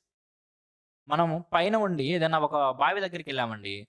బావి దగ్గరికి వెళ్ళి మనం పైన నుంచి కింద చూస్తుంటే లోతు అంటాం. కదా? ఒకవేళ మనం కిందలో ఉన్న బావి లోతున భూమి చాలా పైన ఉంది మనం చాలా పైకి ఎక్కాలి అంటాం. ఒకవేళ ట్యాంక్ దగ్గరికి వెళ్ళి మనం కింద నుంచున్నాము అప్పుడేమంటాం? అబ్బో చాలా ఎత్తులో ఉంది అంటాం. అది జస్ట్ మనం ఏదైతే ఉన్నామో అక్కడ నుంచి ఆ పాయింట్ నుంచి మన యొక్క పర్సెప్షన్ తేడా తప్పితే డెప్త్కి హైట్కి తేడా ఏం లేదు. కన్ఫ్యూజ్ అవ్వమాకండి కాబట్టి మనల్ని సింపుల్గా ఏమడుగుతున్నాడు? అడుగుతున్నాడు హైట్ అడుగుతున్నాడు. ఏమిచ్చాడు ఇచ్చాడు? దానికి వాల్యూమ్ ఇచ్చాడు. దాని యొక్క రేడియస్ ఇచ్చాడు. డయామీటర్ ఇచ్చినట్టంటే దాన్ని ఆఫ్ చేసుకుంటే రేడియస్ వచ్చింది కదా? వ్యాసార్థం వచ్చింది కదా? కాబట్టి హైట్ అడుగుతున్నాడు. అసలు సిలిండర్ యొక్క వాల్యూమ్ మనకి ఇచ్చాడు. అది ఎలా వచ్చిందండి? మనందరూ తెలవాలి formula pi r square h. Pi r square h కదా దాని యొక్క ఫార్ములా. కాబట్టి ఇదే formula five six three two అయి ఉండాలి కదా? పై అంటే అంతా ఇరవై రెండు బై ఏడు. Are square. రేడియస్ అంటే ఎంత అండి డయామీటర్. వ్యాసం వచ్చేటప్పటికి ఎనిమిది ఇచ్చాడు కాబట్టి రేడియస్ అంటే దాంట్లో సగము అంటే నాలుగు. నాలుగు యొక్క స్క్వేర్ రాస్తాం కదా ఆరు స్క్వేర్. నాలుగు స్క్వేర్ అంటే ఎంత? పదహారు. ఇంటూ హైట్ అదే మనం కనుక్కోవాల్సింది. హైట్ అన్న డెప్త్ అన్న ఒకటి అది మనం కనుక్కోవాలి. ఎంత నిచ్చాడు యాభై ఆరు ముప్పై రెండు అని ఇచ్చాడు. ఓకే? క్యాన్సలేషన్ చేయండి. ఇది ఖచ్చితంగా పదకొండుతో పోవాలి కాబట్టి నేను పదకొండుతో స్టార్ట్ చేస్తున్నాను. పదకొండు రెళ్ళు పదకొండు ఐదులు యాభై ఐదు పదమూడు అంటే పదకొండు ఒకట్లు రెండు అంటే పదకొండు రెండు. ఐదు వందల పన్నెండు. అంటే ఎనిమిదితో పోయిద్ది. ఎనిమిది అరవై నాలుగులు కదా? ఎనిమిది రెళ్ళు అనమాట రెండు రెళ్ళు నాలుగు అంటే నాలుగు పదహారులు. హైట్ ఏం చెప్పచ్చు? పదహారు ఏళ్ళు. నూట పన్నెండు. Option C. సింపుల్ క్వశ్చన్ అండి ఇక్కడ చెప్పడానికి కూడా ఇంకా అంత మించి ఏముండదు ఒకటి option C. Next one. A five digit number 32054 is divisible by 11. If the digits are rearranged in increasing order, then the new number which is formed will be divisible by. మనకు ఒక ఐదు అంకెల సంఖ్య ఇచ్చాడు ముప్పై రెండు వేల యాభై నాలుగు అనేది అది పదకొండు చేత భాగించబడుతుందంట ఆ సంఖ్యలోని అంకెలు ఏవైతే ఉన్నాయో అంటే డిజిట్స్ ఏవైతే ఉన్నాయో వాటిని గనక ఇంక్రీజింగ్ ఆర్డర్లో వాటిని గనక మనం ఆరోహణ క్రమంలో పెరుగుతూ వెళ్ళే ఆర్డర్లో రాసుకున్నట్లయితే అలా ఏర్పడిన నంబర్ అనేది దేని చేత భాగించబడుతుంది అంటున్నాడు. వెరీ సింపుల్ క్వశ్చన్ అండి. చూడండి ముందుగా మనకేమిచ్చాడు? ఈ మూడు వందల ఇరవై యాభై నాలుగు అనే నెంబర్ ఇచ్చాడు. అంటే ముప్పై రెండు వేల యాభై నాలుగు అనేది. దానిలోని డిజిట్స్ ఏవైతే ఉన్నాయో అంటే మూడు రెండు సున్నా ఐదు నాలుగు అనేవి మనం ఏం చేయాలి? ఇంక్రీజింగ్ ఆర్డర్లో అంటే చిన్న నెంబర్ నుంచి పెద్ద నెంబర్కి రాసుకుంటూ వెళ్ళాలి. అలా రాసిన తర్వాత ఏర్పడే సంఖ్య ఏదైతే ఉందో అది దేని చేత భాగించబడుతుంది అంటున్నాడు. ముందు అక్కడ ఇచ్చిన వాటి అన్నింటిలో కంటే చిన్నది ఏంది? జీరో కాబట్టి ముందు జీరో రాస్తున్నాను. తర్వాత అన్నిటికంటే కొద్దిగా జీరో కంటే పెద్ద రెండు. తర్వాత రెండు కంటే పెద్దది మూడు. మూడు కంటే పెద్దది నాలుగు. నాలుగు కంటే పెద్ద ఐదు. ఇప్పుడు ఈ సంఖ్య దేని చేత భాగించబడుతుంది అంటున్నాడు? ఫ్రెండ్స్ ఎప్పుడైతే మనం యూనిట్ డిజిట్లో ఫైవ్ చూసామో అది తప్పనిసరిగా ఐదు చేత భాగించబడుతుందని చెప్పొచ్చు కదా? కాబట్టి ఆప్షన్ డి మన ఆన్సర్ అవుతుంది. ఎంత సింపుల్ క్వశ్చన్ అండి. జస్ట్ ఫైవ్ యొక్క డివిజిబిలిటీ రూల్ వస్తే అయిపోయింది. చివరిలో ఫైవ్ ఉంది కాబట్టి యూనిట్ డిజిట్ అది ఫైవ్ చేత డివిజిబుల్ అవుతుందని చెప్పొచ్చు. Option D is the answer. Next one The length of rectangle is 3 times its breadth. If its length is decreased by 7 centimeters and uh, breadth is increased by 7 centimeters, its area increased by 21 centimeters. The length of the first rectangle is. The length of the rectangle ఎలా ఉందంట three times the breadth అంట ఒక దీర్ఘచతురస్రం ఉంది దాని యొక్క పొడవు వెడల్పుకి మూడు రెట్లు ఉందంట పొడవు ఎలా ఉంది వెడల్పుకు మూడు రెట్లు కాబట్టి ఏం చెప్పొచ్చు అండి ఒకవేళ వెడల్పున మనం బి అన్నాం అనుకోండి అటువంటిప్పుడు లెంత్ ఏమనుకోవచ్చు? త్రీ బి అంటున్నా. లెంత్ ఎంత? త్రీ బి వెడల్పునేమో నేను బి అన్నాను లెంత్ ఏమైతే అంటున్నప్పుడు త్రీ టైమ్స్ అన్నాడు కాబట్టి three B its length is decreased by seven centimetres and breadth is increased by seven centimetres పొడవుని ఏడు సెంటీమీటర్లు తగ్గించి వెడల్పుని ఏడు సెంటీమీటర్లు పెంచినట్లయితే అప్పుడు దాని యొక్క వైశాల్యం ఏమైందంట? Increased by twenty one centimetres అప్పుడు దాని యొక్క వైశాల్యం ఇరవై ఒక్క సెంటీమీటర్లు పెరిగిందంట. ఇలా ఉన్న కొలతలు ఏం చేస్తాను అంటున్నాడు వెడల్పుని ఏం చేస్తాడని చూడండి. Length is decreased by seven centimetres and breadth is increased by seven centimetres ఈ వెడల్పుని ఏడు పెంచాడు. కాబట్టి ఏమైంది? బి ప్లస్ సెవెన్ అవుతుంది. లెంత్ని ఏం చేస్తాడంట? ఏడు సెంటీమీటర్ తగ్గిస్తాడంట. లెంత్ని మనం త్రీ బి అన్నాం కాబట్టి ఏమైంది? త్రీ బి మైనస్ సెవెన్ అయింది. లెంత్ని సెవెన్ సెంటీమీటర్స్ డిక్రీజ్ చేశాడు కాబట్టి. ఇప్పుడు ఈ కొలతలు ఏవైతే ఉన్నాయో వీటి ద్వారా ఏర్పడిన రెక్టాంగిల్ యొక్క ఏరియా ట్వంటీ వన్ ఎక్కువ అయిందంట ట్వంటీ వన్ ఇంక్రీజ్ అయ్యింది. అంటే ఈ కొలతల ద్వారా ఉన్న దాని యొక్క వైశాల్యం ఏమవుతుంది? B plus seven into three B minus seven కదా. ఎందుకంటే area of the rectangle is nothing but the length into breadth LB కదా. దీనిలో నుంచి ఓల్డ్ ఏదైతే ఉందో ఓల్డ్ది అంటే బి ఇంటూ ఎల్ బి అంటే బీనే ఎల్ అంటే త్రీ బి కదా కాబట్టి త్రీ బి పాత వైశాల్యం తీసేసినట్టయితే ఎంత ఉండాలి? ఇరవై ఒకటి. ఎందుకంటే ఇరవై ఒకటి పెరిగింది కాబట్టి కొత్త దాన్ని పాత దానికంటే ఇరవై ఒకటి ఎక్స్ట్రా ఉండాలి కాబట్టి ఈజ్ ఈక్వల్ టు ఇరవై ఒకటి. జస్ట్ ఇక్కడ సింప్లిఫై చేసి మనం ఆన్సర్ తీసుకోవచ్చు. ఎలా తీసుకొచ్చాను? Three B square three B square minus seven B plus ఇరవై ఒక్క బి కాబట్టి పద్నాలుగు బి ప్లస్ పద్నాలుగు బి మైనస్ నలభై తొమ్మిది minus three B square is equal to twenty one ఈ minus three B square plus three B square తీసేసేయచ్చు మనం. ఈ నలభై తొమ్మిది అటు తీసుకెళ్ళిపోయాం అనుకోండి. పద్నాలుగు బి ఈజ్ ఈక్వల్ టు పద్నాలుగు బి ఈజ్ ఈక్వల్ టు నలభై తొమ్మిది అటు తీసుకెళ్ళిపోతే డెబ్బై ఒకటి అంటే డెబ్ డెబ్బై. పద్నాలుగు ఒకటిలో పద్నాలుగు ఐదులు కాబట్టి బి క్వాలిటీ ఎంత వచ్చింది మనకి? ఫైవ్ మనకి బ్రెడ్ వచ్చిందండి ఫైవ్ కానీ వాడు మనల్ని అడిగింది ఏంటి? The length of the first rectangle దాని యొక్క లెంత్ అడిగాడు. ఫస్ట్ దాని యొక్క లెంత్ ఎంత అన్నాం three times of the B అన్నాం కదా? ఎప్పుడైతే బి ఫైవ్ అని తెలిసిందో three times of B that is ఐదు మూడు పదిహేను. ఎక్కడ? Option B option B just solve చేస్తే అయిపోతుంది. యాభై మూడుకి option B next one find the fourth proportion to numbers thirty six forty eight and ninety ముప్పై ఆరు నలభై ఎనిమిది మరియు తొంభై అనే నెంబర్ల యొక్క చతుర్థ అనుపాతం అడుగుతున్నాడు. ప్రతి వీడియోలో మనం చెప్పుకుంటూనే ఉన్నామండి. ఏబిసి అనే మూడు సంఖ్యలు మన దగ్గర ఉన్నట్లయితే వాటి యొక్క ఫోర్త్ ప్రపోర్షన్ మనకి ఎలా వస్తుంది? బీసీ బై ఏ కదా fourth proportion BC by A ఇక్కడ ముప్పై ఆరుని ఏగా నలభై ఎనిమిది బిగా తొంభైని సిగా మనం చూసుకున్నట్లయితే బీసీ బై ఏ అంటే నలభై ఎనిమిది ఇంటూ తొంభై నలభై ఎనిమిది ఇంటూ తొంభై divided by thirty six divided by thirty six కదా. ఈ ముప్పై ఆరుని మనం తొమ్మిది ఎనిమిదిగా చూడొచ్చు కాబట్టి మీ ఇష్టం మీరు రెండుతో క్యాన్సిల్ చేసుకుంటారు నాలుగుతో మీ ఇష్టం అది అలా క్యాన్సిల్ చేయండి. నేను తొమ్మిది నాలుగులో చూస్తాను తొమ్మిదితో క్యాన్సిల్ చేస్తే పది పోయింది నాలుగు అంటే ఇక్కడ పన్నెండు అయింది. నూట ఇరవై. తొమ్మిది పదులు నాలుగు నాలుగు పన్నెండు. నూట ఇరవై. నూట ఇరవై లేదే? ఆప్షన్ తప్పండి ఇక్కడ. ఈ క్వశ్చన్లో ఆప్షన్లు తప్పించాడు. ప్రింటింగ్ మిస్టేక్ అది. ఓకే? సెంటీమీటర్లో ఇచ్చాడు. ఇవి కాదు. ఆప్షన్ తప్పులు. కరెక్ట్ ఆన్సర్ వచ్చేటడికి వన్ ట్వంటీ. ఆప్షన్ తప్పులు ఉన్నాయి ఆ క్వశ్చన్లో?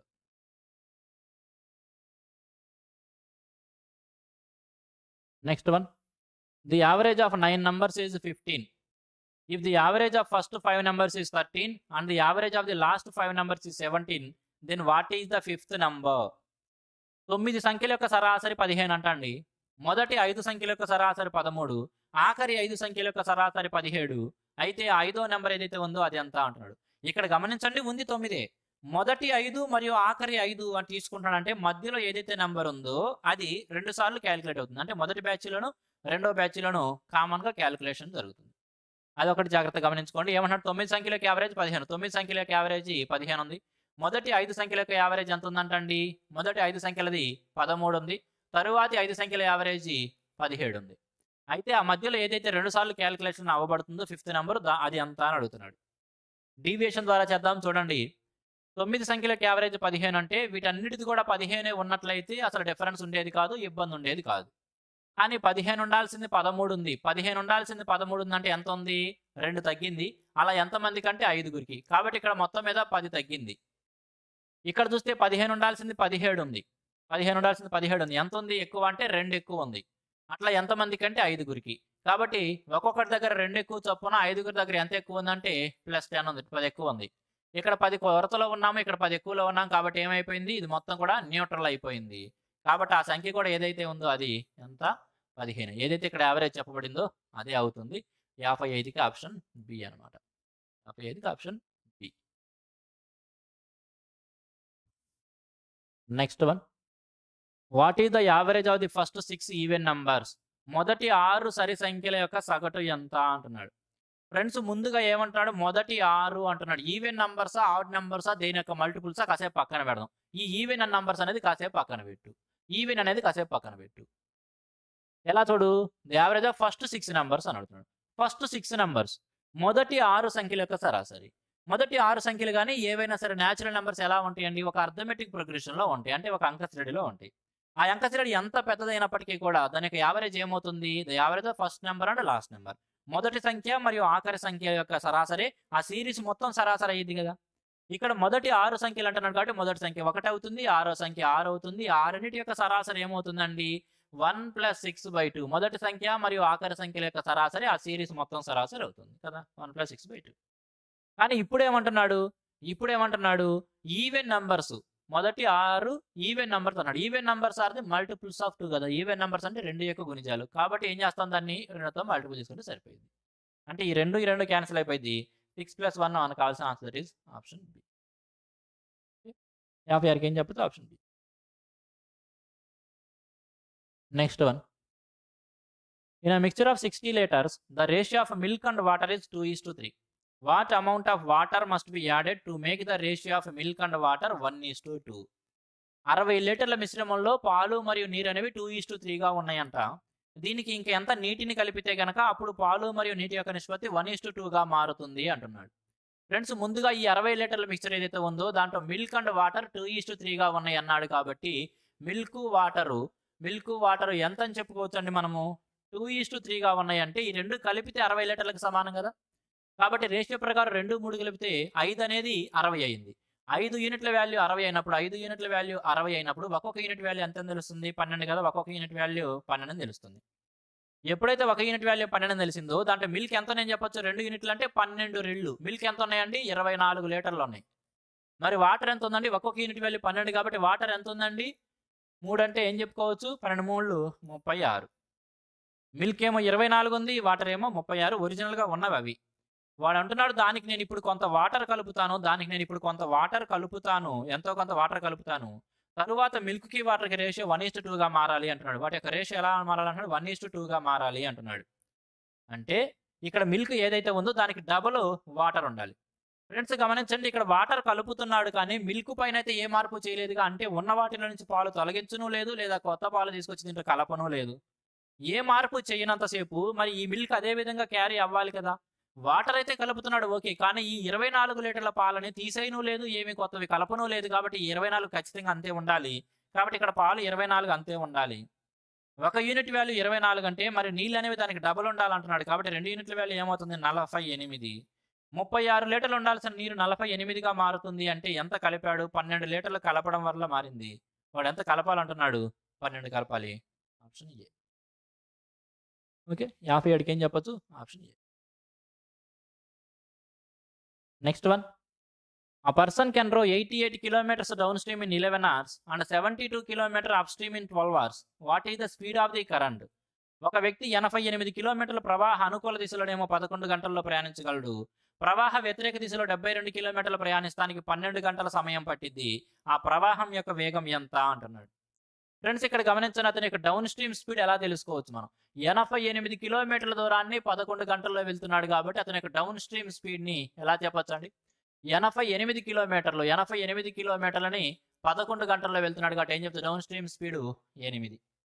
అదేవిధంగా అప్ స్ట్రీమ్ స్పీడ్ చెప్తే దాన్ని అప్ స్ట్రీమ్ స్పీడ్ ఏం చెప్పచ్చు అండి అప్ స్ట్రీమ్ స్పీడ్ డెబ్బై రెండు కిలోమీటర్ల దూరాన్ని పన్నెండు గంటల్లో వెళ్తున్నాడు. డెబ్బై రెండు కిలోమీటర్ల దూరాన్ని పన్నెండు గంటల్లో వెళ్తున్నాడు కాబట్టి అప్ స్ట్రీమ్ స్పీడ్ ఏం చెప్పచ్చు? ఆరు. ఫ్రెండ్స్ ఎప్పుడైతే మన దగ్గర down stream speed up stream speed ఉంటుందో అటువంటి అప్పుడు speed of the current speed of the current SC అంటున్నాను. స్పీడ్ ఆఫ్ ది కరెంట్ ఎలా వస్తుంది? Half of the difference between the down stream minus up స్ట్రీమే కదా? మనందరూ చదువుకుంటాం కదండి. ప్రవాహం యొక్క వేగం ఎప్పుడైతే మనకి ప్రవాహ అనుకూల దిశలోని వేగము మరియు ప్రవాహ వ్యతిరేక దిశలోని వేగాలు తెలిసినాయో అటువంటప్పుడు స్పీడ్ ఆఫ్ ది కరెంట్ అంటే ప్రవాహం యొక్క వేగం ఎలా తెలుస్తుంది అంటే ఆ రెండింటి మధ్య డిఫరెన్స్కి సగం. కాబట్టి ఏం చెప్పొచ్చు అండి ఆ రెండు మధ్య డిఫరెన్స్ ఎంత? ఎనిమిది ఆరుకి మధ్య డిఫరెన్స్ ఎంత? రెండు. రెండుకి సగం అంటే ఎంత అండి? ఒకటే కదా. ఇంకా రాయాల్సిన అవసరం ఏముంది ఇక్కడ? ఒకటి బై రెండు రాసి ఎనిమిది మైనస్ ఆరు. ఇవన్నీ కూడా రాయాల్సిన అవసరం ఉందంటారండి? ఏమీ లేదు కదా. కాబట్టి ఏం చెప్పచ్చు? Half of the difference difference to దాంట్లో హాఫ్ దట్ ఈస్ వన్ ఎక్కడండి? ఆప్షన్ ఏ వెరీ సింపుల్‌గా చెప్పొచ్చు. 58కి option A. Next one.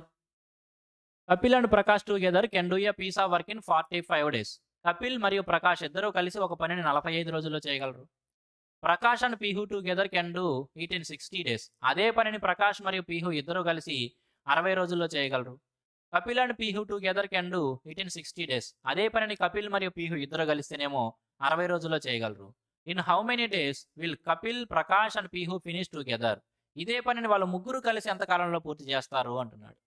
Already ఇటువంటి క్వశ్చన్ మనకి ప్రీవియస్‌గా కొన్ని పేపర్స్‌లో ఇచ్చాడు. మనం అక్కడ కూడా చేసాము.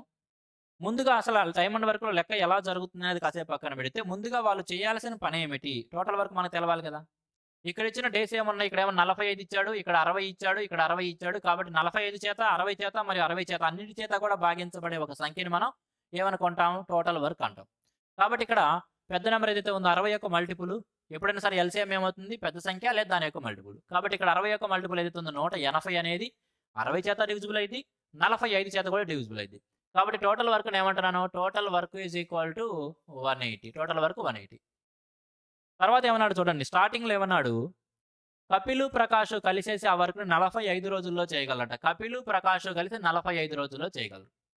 ఫ్రెండ్స్ కపిల్, ప్రకాష్ ఇద్దరు కలిసి నూట ఎనభై వరకుని నలభై ఐదు రోజుల్లో చేస్తున్నారు అంటే, ఒక రోజులో కపిల్ మరియు ప్రకాష్, ప్రకాష్‌ని పిఆర్ అంటున్నాను. ఎందుకంటే అవతల పీహు అనేవాడు కూడా పీతోనే స్టార్ట్ అవుతున్నాడు కాబట్టి పిఆర్ అన్న కపిల్, ప్రకాష్ ఇద్దరు కలిస్తే ఒక రోజు వర్క్ ఎంతండి? 180 వర్క్‌ని 45 రోజుల్లో చేయగలరు కాబట్టి వాళ్ళిద్దరు కలిస్తే ఒక రోజుకి నాలుగు వరకు జరుగుతుంది. నాలుగు చేయగలరు. తరువాత ప్రకాష్, పీహు ఇద్దరు కలిస్తే ప్రకాష్, పీహు ఇద్దరు కలిస్తే అదే పనిని 60 రోజుల్లో చేయగలరంట. మరి ప్రకాష్ అదేవిధంగా పీహు ఇద్దరు కలిస్తే ఒక రోజుకి ఎంత పని చేయగలరు అంటే 180 వరకు 60 రోజుల్లో చేయగలుగుతున్నారు కాబట్టి ఒక్కొక్క రోజుకి మూడు వరకు చేయగలరు. తర్వాత ఏమన్నాడు చూడండి. కపిలు, పీహు ఇద్దరు కలిస్తే కనుక కపిలు, పీహు ఇద్దరు కలిస్తే వాళ్ళకు కూడా 60 రోజులే పట్టిద్ది. కాబట్టి కపిలు ప్లస్ పీహు ఇద్దరు కలిస్తే 60 రోజుల్లోనే చేయగలరు. నూట ఎనభై వరకు అరవై రోజుల్లో చేయగలుగుతున్నారు కాబట్టి ఒక్కొక్క రోజుకి వాళ్ళు చేయగలిగింది త్రీ అనమాట. ఫ్రెండ్స్ ఇప్పుడు గమనించండి. ఒకసారి మనం ఇటువైపు ఉన్న పర్సన్స్ అందరినీ కూడుకున్నట్లయితే కపిల్ 2 సార్లు కనిపిస్తాడు. ప్రకాష్ 2 సార్లు కనిపిస్తాడు. పీహు 2 సార్లు కనిపిస్తాడు. కాబట్టి ఇవన్నీ కూడితే మనకేమొస్తుంది? Two times of Kapil plus Prakash plus Pihu వస్తారు కదా! అంటే వాళ్ళందరూ కూడా ఒక్కొక్కడు 2, 2 సార్లు చొప్పున పనిచేస్తే మొత్తం మీద ఎంతవరకు జరుగుతుందంటే 3, 3, 6, 4, 10. మరి వాళ్ళందరూ కలిస్తే ఎంత అని చెప్పొచ్చు అప్పుడు? కపిలు ప్లస్ ప్రకాష్, పీహు అందరూ కలిస్తే కనుక ఒక రోజుకి వాళ్ళందరూ ఎంత చేయగలరంటే రెండు సార్లు పనిచేస్తే పది కాబట్టి ఒకసారికి ఏమైతే రెండు ఒకటిలో రెండు ఐదులు కొట్టేస్తాం కాబట్టి కాబట్టి ఫైవ్ అంటే వాళ్ళందరూ కలిస్తే గనక ఒక రోజులో ఫైవ్ యూనిట్స్ పని చేయగలరు. వాడు అంటున్నాడు ఈ మొత్తం పనిని వాళ్ళందరూ కలిస్తే ఎన్ని రోజుల్లో చేయగలరు అంటున్నాడు. మొత్తం పని ఎంతండి? మొత్తం పని 180. వాళ్ళందరూ కలిస్తే ఒక రోజులో వాళ్ళు ఏం చేయగలరంటే ఐదు వాళ్ళందరి కెపాసిటీ ఐదు కాబట్టి ఎంత సమయం పట్టిందంటే ముప్పై ఆరు రోజులు పట్టింది ముప్పై ఆరు రోజులు. ఎక్కడ ఇచ్చాడు? Option B. 36 డేస్ అన్నమాట. లెక్క చదవండి మీరు చేయండి. లెక్క చదవండి చేయండి ఖచ్చితంగా అందరూ చేయగలిగిన లెక్కే. దాంట్లో ఏమీ లేదు అసలు ఆ లెక్కలో. ఈ ఒక్కటి మాత్రం జాగ్రత్త తీసుకోవాలి. చాలా మంది స్టూడెంట్స్ ఏం చేస్తారంటే ఇక్కడ టూ టైమ్స్ ఆఫ్ వచ్చిందని తెలుసుకోకుండా ఈ 10తో డివైడ్ చేసేసి 18 అని చెబుతూ ఉంటారు. 18 కూడా ఆప్షన్‌లో ఇచ్చుంటే బాగుండేది. ఎగ్జామినర్ కొద్దిగా ఆలోచించి స్టూడెంట్స్ ఎక్కడ తప్పు చేస్తారు అని ఆలోచించి ఆ 18ని కూడా ఆప్షన్‌లో పెట్టి ఉంటే బాగుండేది. ఇక్కడ మాత్రం టూ టైమ్స్ ఆఫ్ కెపాసిటీ 10 కాబట్టి సింగిల్ కెపాసిటీ ఫైవ్గా తీసుకొని ఆన్సర్ చెప్పాలి. ఆ ఒక్కటే ఈ లెక్కలో ఎవరన్నా తప్పు చేస్తే చేసేది. Okay. 36 is the correct answer. Next one and last one. Shashi buys an old refrigerator for 12,000 and spends 1,000 on it for for the repairs. If he sells the refrigerator for 15,000 then his gain percent is. ఈ శశి అనే వ్యక్తి అంట ఒక పాత రిఫ్రిజిరేటర్‌ని పన్నెండు వేల రూపాయలు కొన్నాడంటండి. కొని దానిపైన వెయ్యి రూపాయలు పెట్టి మరమ్మతులు అంటే బాగు చేపించాడు. రిపేర్స్ చేపించాడు. దాన్ని 15,000 రూపాయలకి అమ్మాడు. వాడికొచ్చిన లాభ శాతం ఎంత అంటున్నాడు. ఫ్రెండ్స్ వాడు 12,000 పెట్టి కొన్నాడు. వెయ్యి రూపాయలు దానికి రిపేర్ చేపించాడు. కాబట్టి వాడు మొత్తం ఖర్చు పెట్టినంత పదమూడు వేలు మొత్తం ఖర్చు పెట్టినంత పదమూడు వేలు ఈ 13,000 ఖర్చు పెట్టిన దాన్ని ఎంతకు అమ్మాడు? 15,000కి అమ్మాడు. ఈ 13,000 ఖర్చు పెట్టిన దాన్ని ఎంతకు అమ్మాడంటే 15,000కి అమ్మాడు. సింపుల్‌గా వేలు పక్కన సున్నాలు తీసేయండి. 13 రూపాయలు ఖర్చు పెట్టాడు. పదిహేను రూపాయలు కమ్మాడు లాభమేగా తక్కువ ఖర్చు పెట్టి ఎక్కువ కమ్మాడు కాబట్టి లాభం. 42 దేని మీద చెప్పాలండి? ఖర్చు పెట్టిన దాని మీద చెప్పాలి కదా! ఖర్చు పెట్టిన దాని మీద చెప్పాల్సింది కాబట్టి ఖర్చు పెట్టినంత పదమూడు రూపాయలు. కాబట్టి ఆ రెండు రూపాయలు అనేవి 13లో ఎంత శాతం చెప్పాలి? ఫ్రాక్షన్‌లో ఉంది కాబట్టి ఇంటూ 100 పెడతాము. లేదా పదమూడు యొక్క fraction value one by thirteen అంటే కనుక ఏడు తొమ్మిది పదమూడు అని తెలిస్తే ఆ విధంగానే చెప్పొచ్చు. లేదు మాకు తెలవదన్నా అంటావా? ఫ్రాక్షన్ టైప్లో ఉంది. పర్సంటేజ్ కావాలి కాబట్టి ఏం చేస్తావు? ఇంటూ హండ్రెడ్ పెడతావు. అంటే అది ఎలా మారుతుంది? రెండు వందల బై పదమూడుగా మారుతుంది. ఏంది ఎరేజీ ఇదంతా పోయింది. చూస్తాను తర్వాత నేను. ఎరేజ్ ఎందుకో? ఎరేజ్ చేస్తుంటే మొత్తం పోతుంది. ఓకే. ఓకే వచ్చింది. చూడండి.